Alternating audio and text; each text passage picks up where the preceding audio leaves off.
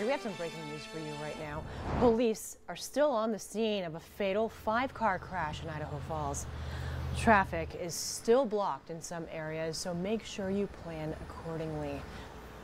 Police say it happened just after 7:30 this morning at that intersection right there. It's it's 25th East and Yellowstone Highway. Well, ISP tells us. Uh, uh, a truck was turning left on 25th and then collided with a car driving straight through that intersection.